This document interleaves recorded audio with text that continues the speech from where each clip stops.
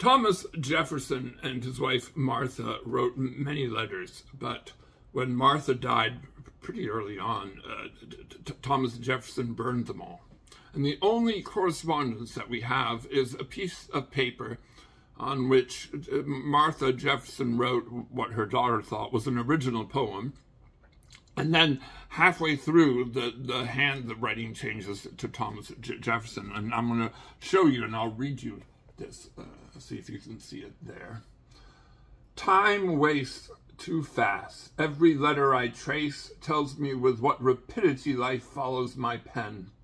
The days and hours of it are flying over our heads like clouds of a windy day never to return. More, everything presses on, and every time I kiss thy hand to bid adieu, every absence which follows it, are preludes to that eternal separation which we are shortly to make. So this is written probably, we think, uh, around the time that Martha died, uh, a couple of months after her fifth child. Most of them die in childbirth. Um, so this piece of paper is attached to her a lock of her hair, and her daughter and then her granddaughter get it, and they think it's a poem that their mom wrote, but it's not. This is this is a, a, a passage from a book called the Life and Opinions of Tristram Shandy, Gentleman, by Laurence Sterne, written in 1759 to about 1767, maybe. Uh, it was written in, in nine volumes, uh, published um, periodically over those years. Now, I, I was introduced to, to Tristram, Tristram Shandy um, in a much different way. Uh, I I I was a lifelong reader of of C.S. Lewis. My parents, my mother read us um, the Chronicles of Narnia and the Space Trilogy when we were in elementary school, and then I read it a number of times, and then I read all the popular books, the Christian books, Mere Christianity, and all those books in high school, and then in college I read his um, scholarly works, the Cambridge Press works. Um, the, uh, the Discarded Image is one of them. Well, I wanted to be like C.S. Lewis, so I, I figured out what books he had read.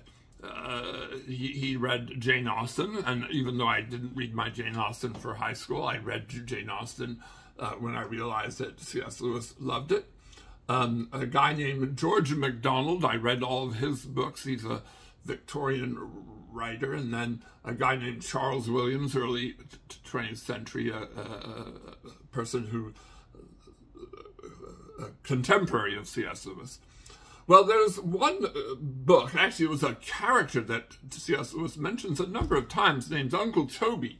And he, he acted as if we should all know who Uncle Toby is and that we've all read Tristram Shandy so, so I went and in college I read Tristram Shandy, and I'll say it was a hard book. I I didn't understand it.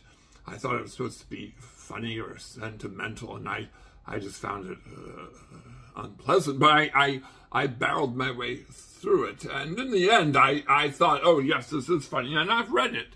Uh, not all the way through, but I've read bits of it since then. And I wanted to read you, I wish I had known this. I, this is the 19 year old C.S. Lewis writing a letter to his friend about his first reading of, of Tristram Shandy. Here, you can read it with me.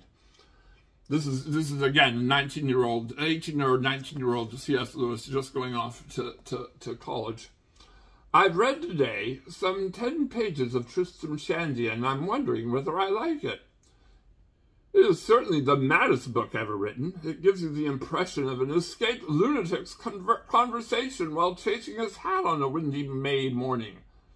Yet there are beautiful, serious parts in it, though of a sentimental kind, as I know from my father. Have you ever come across it? So, so I, again, I wish I knew that this was a really difficult book. Um, uh, so he, asked his friend. Oh, by the way, so, so C.S. Lewis's father was from Ireland and Tristram Shandy, Laurence Sterne was born in Ireland, Um, and so C.S. Lewis's father was a fan of Tristram Shandy. I like, though, his friend, this is his childhood friend, writes him back uh, the next year. And listen to what he says. I, I was interested to hear that you like Tristram Shandy. Personally, I've tried in vain to see the good points of it. The absolute disconnection or scrappiness, the abundant coarseness of an utterly vulgar, non-voluptuous sort, and the general smoking room atmosphere of the book were too much for me.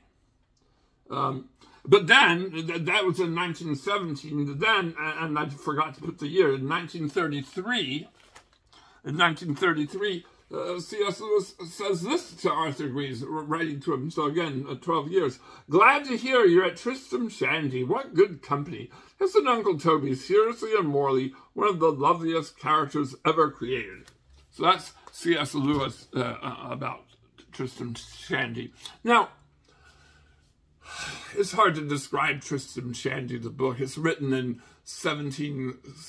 1760, right? Uh, the novel had just been invented in, in a sense. Um, Robinson Crusoe. I guess some people say the first one would be um, Pilgrim's Progress, which is not a novel, right? But that's kind of the first moment. Then, then you have you have Christopher, you have Robinson Crusoe, not really a novel either. But then you have some early novels by by Fielding and all that. So he's there, you know, the novel's maybe 30 years old, 40 years old. Um, when he starts writing, and he says at the very beginning, I'm not going to follow any rules. I'm not going to do anything that people want. And the whole book is about him trying to get born, right? It begins in volume one with his conception. That's the first sentence, first line is wondering why my parents weren't more serious when they were conceiving me. Why were, were they distracted? And he goes on about, you know, things that his mother said during their lovemaking. Uh, by the way, this is a bawdy book. This is a book that's that's that's condemned by many people, mostly condemned because Laurence Sterne was a a, a, a, a minister, a, priest of the in the Anglican Church, uh, and people thought, well, this is just not a book that that priests should be writing. Um, but the book then digresses and it spends this huge amount of time. I would say over over half of the time it's digressing into weird uh, scholarly arguments, and, and it's just a, a, mess of a book. Um, I think by the time we reach by the time we reach volume four, um, we're just being born. Oh, it's, it's again, it's a mess of a book. I think it's funny. Um, I I think it's funny, but if you don't think it's funny, I, there's nothing much for you to read. Uh, the odd thing is, though, Thomas Jefferson thought it was one of the great moral books, and and and and C.S. Lewis thinks that that Uncle Toby is one of the great moral characters. It's a a fascinating book. I would urge you to read it, but do know it's a mad book. Thanks.